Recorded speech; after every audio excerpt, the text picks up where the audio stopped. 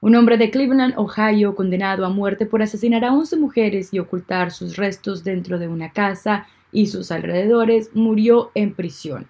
Anthony Zowell, de 61 años de edad, estaba recibiendo atención al final de su vida en el Franklin Medical Center por una enfermedad terminal cuando falleció el lunes, dijo el Departamento de Correcciones de Ohio. La muerte no estuvo relacionada con COVID-19, dijo el departamento.